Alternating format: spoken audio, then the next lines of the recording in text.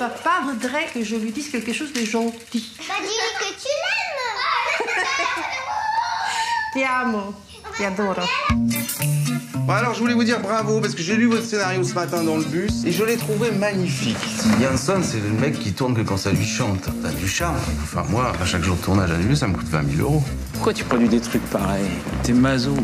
C'est quand même pas une évidence commerciale, ton cinéaste. C'est un génie. Bah alors, où est-ce qu'elle est Valentine? Dette s'élève à presque un million d'euros, plus les intérêts. Vous êtes conscient que la prochaine étape, c'est une saisie sur vos comptes. J'aimerais beaucoup que tu te décides à être heureuse. On est en train de se noyer. Mais non, ça va pas. Il y a des solutions, mais il faut tenir. Qu'est-ce qui se passera, Grégoire, si la banque vous lâche Je sais pas. J'y arrive plus, c'est fini. Comment ça, c'est fini C'est un tel échec. C'est un échec financier. Mais regarde le chemin incroyable que t'as parcouru. Pourquoi elle a fait ça